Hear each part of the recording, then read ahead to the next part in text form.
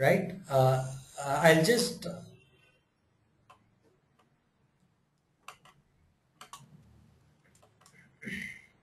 So what we were just seeing now, how to do a totaling of operation. So if I, if I like to do a total, I just put English, Maths, Physics, these are all my subjects. I am totaling it with putting that column E2 plus D2 plus C2. Later I can copy the columns to all other uh, rows without any problem. Automatically the formula gets adjusted as you can see now the E3, D3, E4, the each row value automatically adjust. That's one major advantage of this Excel sheet. Later we can also do copying by press, pressing this plus symbol at the right hand side bottom corner of each of the column. I can select it, double click it, automatically it gets uh, copied. So double click on it, it copies to the all the rows. The next thing that we are going to do is average. Now we have done total. So like this I can do subtraction, I can do division. Division we have seen it over here. F2 divided by 300. So you can see that over here. I can also put here F2. So like this. If I do it like this, you can see a error here. So this is not considered as a division right? So you give a error, you get an error. This, if you get any information like this, that means your formula is having a problem. This indicates, this hash name question mark indicates that formula that we have given having a problem. Syntax error, we call it as in the terminology of IT. Right? If you get any of the field like this, it indicates that that particular column is having an issue. right? So this is what uh, important. So wherever you see that name so I just give the wrong formula now. So I give a wrong formula. You can see a name. This indicates that it is a error. It's a mistake. Fine. Now I like to do average I want to know the average age of my class uh, what does ash means before name so what does ash means before name? This ash indicates it's a system defined information. Question mark indicates that there is a problem over there. It's not a user defined information. It's a system defined information. So it does not mean that I put like this means it is a system defined. It is, it is actually a data. You can see a comment over there in the top. So when I click on to this uh, exclamatory mark, you can see formula contains unrecognized text. This is the reason for that error information. So every error you get this information. This is your uh, simple help. This will show you where the formula contains unrecognized text. So you can know where the problem is. Right? Fine. If I go here, you will not get that comment. Right? That's the information. Perfect. Now, I go back. Now we, we like to go with average. I want to know the average age in my class. Please note we are not dealing with 6 rows. In reality you may have thousands of rows. So you have to extrapolate your imagination to thousands of rows we are trying to deal with. That is where the Excel sheet becomes very powerful. For 3 or 4 rows of course it is not a big thing. But when I am dealing with thousands of rows I cannot deal with individual row any longer. So that is the power of Excel sheet. Now I am going to do an average. So average, if I type it over here, equal, you can see in the left hand side function. So insert a function. I can insert a function using this. If I don't know what is the command I need to type. Right? I don't know what is the syntax I need to follow. I can use this function fx. So it will give me most used functions in below. Please note I am just going doing it again. If I want to enter a function here, I can go with insert function. So click on insert function. It will give me this function here. If I want to do average, you can just say average.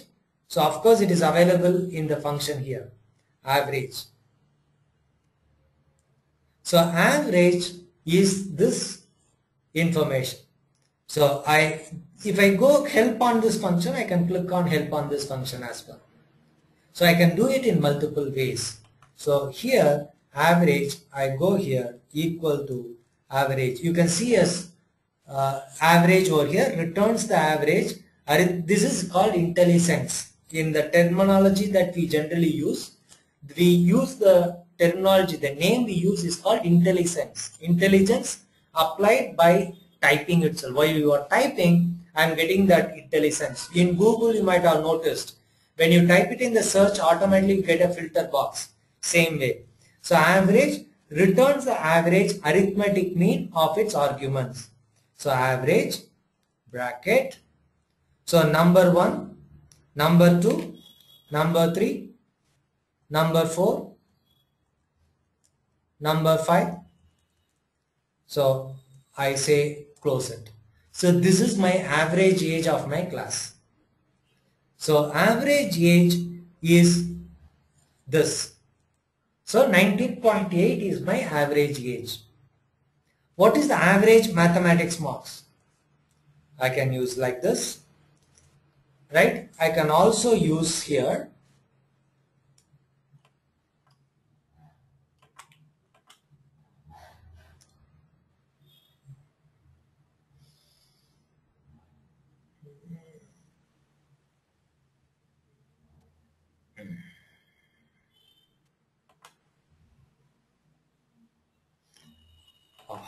Autosum, Autosum. Yeah.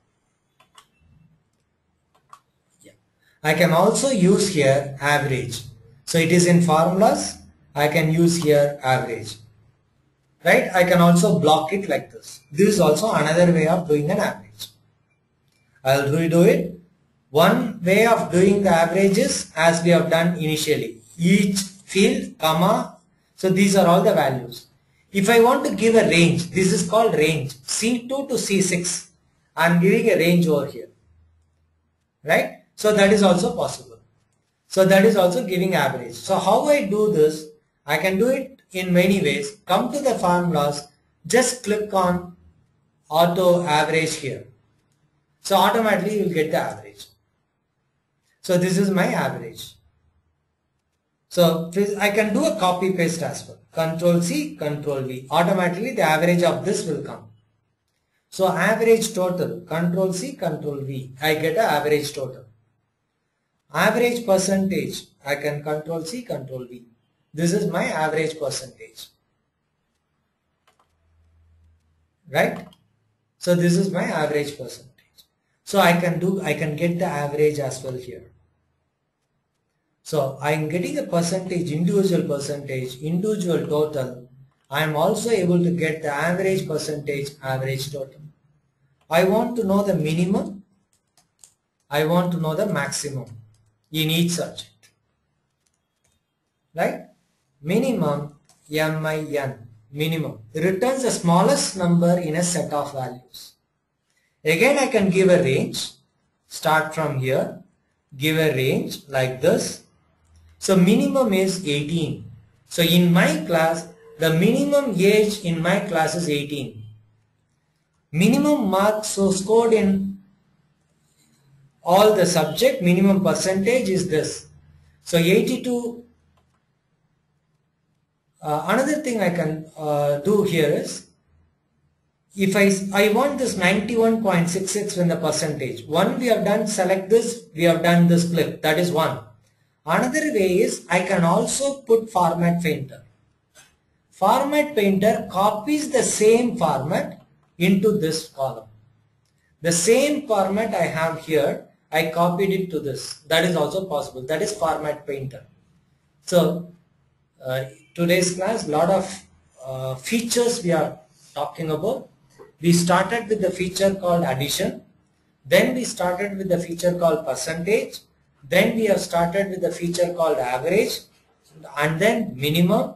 So minimum marks scored in my class, minimum max marks, physics, etc. Right? So this is the total of this minimum. F2, so it is not minimum of F2, F6, this is wrong. So here I am supposed to use sum. I can also use sum total. Totaling is nothing but a sum. This is what the minimum. This is the right one. Not I should not take 281. Right? So uh, it should not be B8, it should be C. So C8. So minimum is 273. That is my minimum mark. So 273 is my total minimum total that I get. Or if you want to really take the minimum total of the students, then I have to use min. So you have to decide how you want, what is the data that you want. Is it a total of the minimum marks or is it the, in my class, who is the, who has got the total, lowest total. So this will give, right now this is giving a lowest total, right? This is going to give the minimum or sum of the minimum. This is the sum of the minimum. So there is a difference between this and that. So you have to be very careful on your requirements.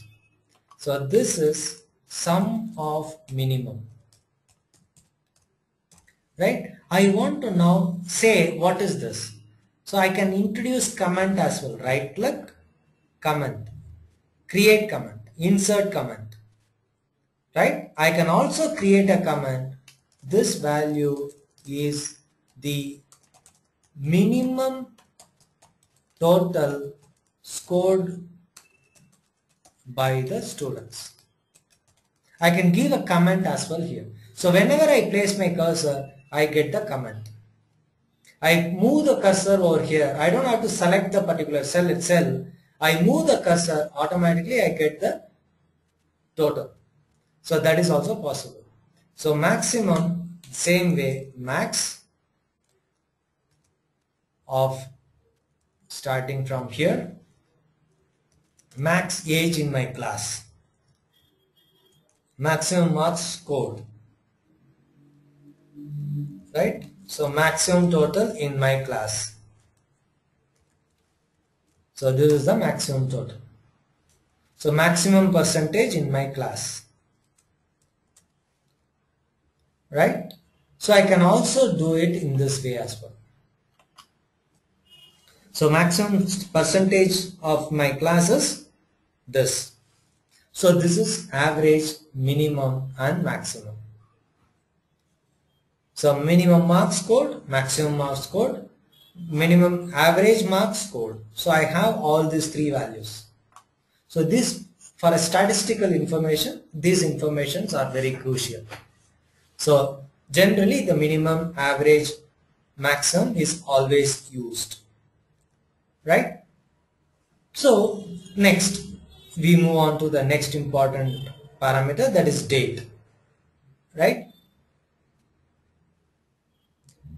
uh, there is a question asked can I use uh, if and count, functions? Yes you can use if and count functions. I'll tell you uh, going to the formulas the last topic of today's is that complex formulas. In that we'll talk about those. And then uh, there is a question can we uh, define user defined functions similar like max minimum etc that is what macro is all about. Using macro you can define any of the functions available functions you want to club multiple functions that you can do it within the using if conditions as well right? So uh, that formulas will continue even tomorrow session. In that we'll get more clarity on the depth of the formulas that we can use right? Fine. Now there is uh, there is another information. It is like this. I want to add Suresh Varadarajan Shruti Sweta I want to add in a single statement. I want to add all these people name into a single statement into a single variable. Right? Uh, people there is a question asked I need explanation on format painter. Uh, format painter I will explain you more as I go inside. For example uh, I let me have it like this this one I am changing the font to say 16 this alone all these columns I am changing it to the font 16 say I am changing it to 16 right another is I am making it as bold and underline this and I give a color for each of the font make it as red color So this is what I have it in this cell. Right? Now I have a data over here. So this data or I have a I have, I have done now three activities. One, I increase the font over here, increase the font to 16. I made this as bold. I made it as underlined. I may I selected the color. So there are four activities I have done now with the normal data. This is my standard data. To this standard data, I have applied now four uh, uh, what do you say uh, in features. That is four different types. One change the font. Two I made it as bold. Three I underlined that particular uh, column. Four I have selected a different color to that column. So all these four activity I want to pass it to this G column. All these four activities I want to pass it to this entire G column. So if I have to do that one way is select each one and then do all the four activities that you have done for this. Otherwise, you choose this, use format painter. Right? Once you have a format painter, you can see a paint brush to the right of my, uh, with my uh, mouse. So you can see a paintbrush to the mouse. I choose now what are all the things that I want to replace. Now you can see that it has been replaced now. Right? Now percentage is not available because this far this particular cell doesn't have a percentage. Now I want to give a percentage I need to enable manually now percentage. So this is what the format painter is all about. So multiple formatting of a column I can paste it in a single shot to the other columns that is what format painter is all about.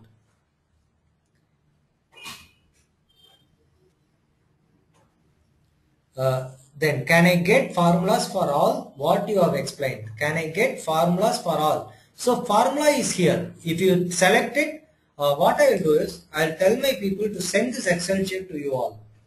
So that you can see that in your uh, mail ID right? I'll tell that in that way so that will be easier. So I save it as a class notes. Each class, whatever the topic we are taking, I send that Excel sheet in the mail and it will reach you through email. That will make it uh, easier for you to understand. Perfect. I hope it is clear now as of now. Right? Does format painter will not impact the data? It will not impact the data. The inside the formulas it will not change only the formatting it will change. Formatting is different from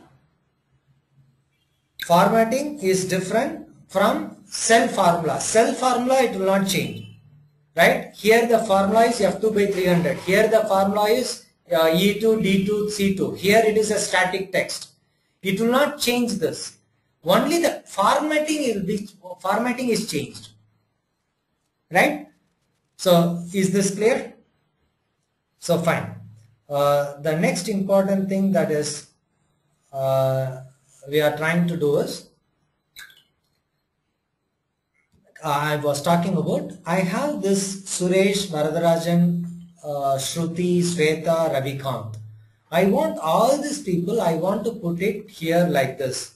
Suresh, right, uh, comma, Varadarajan, comma, Shruti, I want to make a data like this. How to do it? All the uh, rows I have, I want to do it like this. How to do it? So easiest, that is called concatenation, string operation. Now we are into string operation. That is called concatenation operator. So concatenation operator, so concatenation. Concatenation is the operation now. Concatenate so I have to start with equal symbol, concatenate. You can see now concatenate, right? Uh, just a second.